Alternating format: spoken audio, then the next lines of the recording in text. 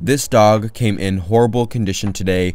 She was super matted all over the place and there really wasn't one spot that wasn't covered in a mat.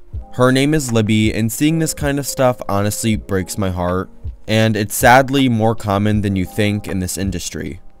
Like I was saying, there was matting all over her body and there was literal poop that was matted into her cooter area and this is just something that obviously isn't healthy for the dog.